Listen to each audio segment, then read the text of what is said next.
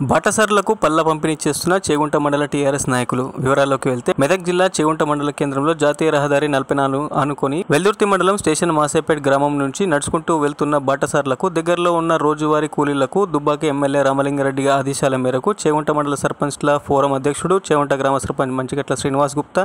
PSCS chairman S Swamy TRS నాయకులు రజనక్ ప్రవీణ్ కుమార్ రవి పనులను పంపిణీ చేశారు ఈ సందర్భంగా వారు మాట్లాడుతూ ఎమ్మెల్యే ఆదేశానుసారం ఇంకా పది రోజుల వరకు స్టేషన్ మాసేపేట నుంచి నర్సింగ్ గ్రామం వరకు ప్రతిరోజు జాతీయ రహదారిపై వెళ్ళే బాటసార్లకు వాహనదారులకు పళ్ళ పంపిణీ చేస్తూ కూలీలు ఎక్కడ ఉంటే అక్కడికి వెళ్ళి అన్నదానం నిర్వహించడం జరుగుతుందని ఈ సందర్భంగా వారు తెలిపారు